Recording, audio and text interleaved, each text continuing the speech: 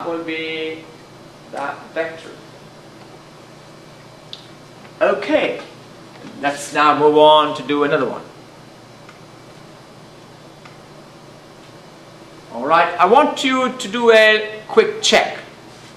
Charge Q acts as a point charge to create an electric field. Its strength measured at a distance of 30 centimeter is 40 Newton per coulomb. What is the electric field strength at a distance of 90 centimeter from the charge? Well, I have a charge Q placed at a point and I measured the electric field due to that charge 30 centimeter away from it and I got the field as 40 Newton per coulomb. Now the question is, use that information to find the electric field at a distance 90 centimeter away from it.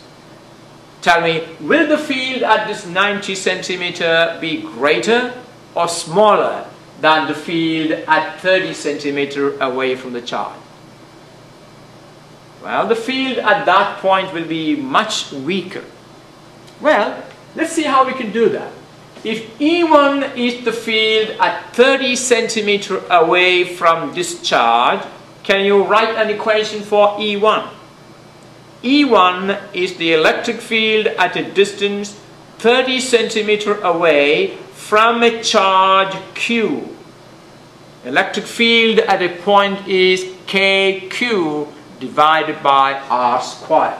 So E1 is KQ divided by R. R is 30 centimeter, 0.3 square. So I have E1 equal to KQ divided by 0.3 square. Alright, if E2 is the electric field at 90 centimeters away, can you write an equation for E2?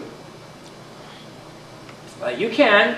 E2 equal to KQ divided by 0.9 square. Well, what are we supposed to find? We know E1, we need to find E2.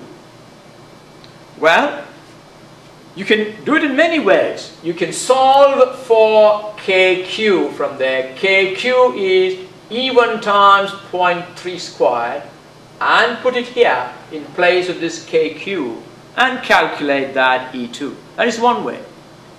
Another way I'm going to show you is because I want you to practice this mathematical manipulation.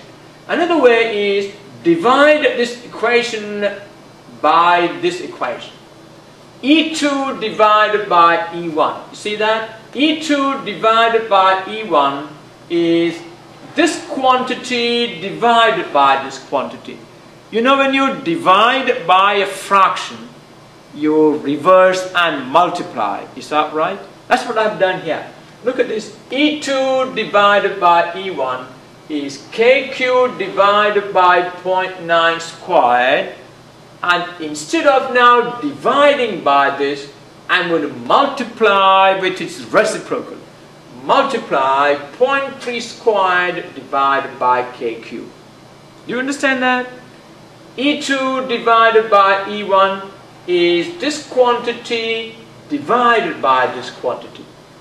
And division by a fraction is the same as multiplication by its reciprocal. That's what this is. What's the advantage?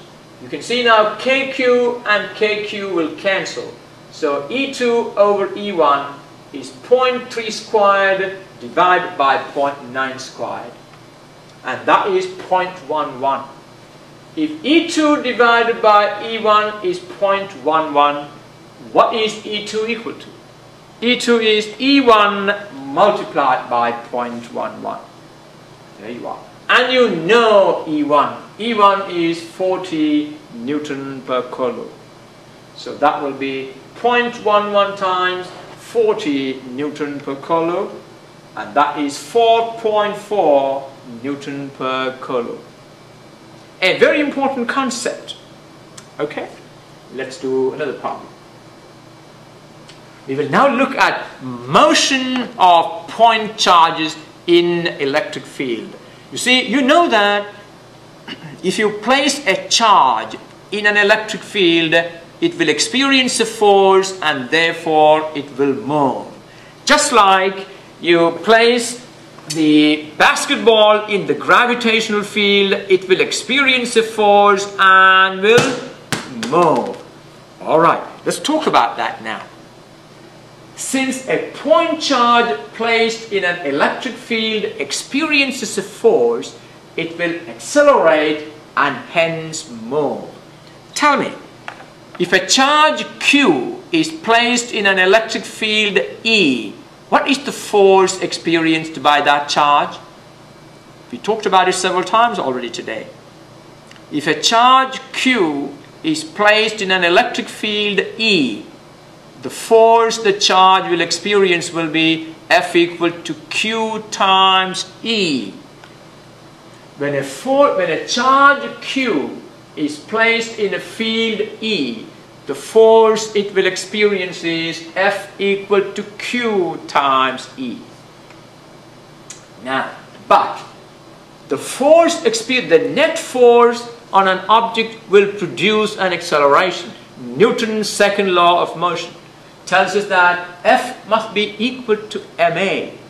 That means this Q times E must be equal to mass times acceleration. So I can say, I can solve from here, if F equal to ma, then A equal to F over m, there you are, and replace this F by Q times E.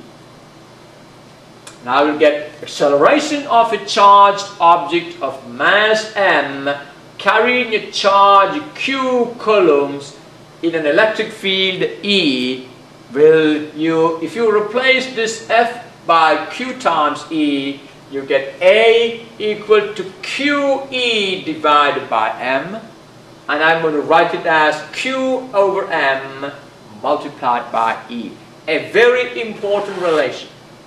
When an electric charge Q that has a mass M is placed in an electric field E, it will experience an acceleration and the acceleration is given by q over m times e.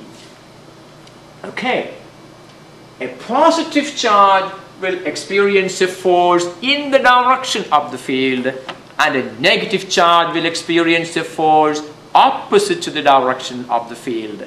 Well, that must be very clear by now. Let's do a small problem. An electron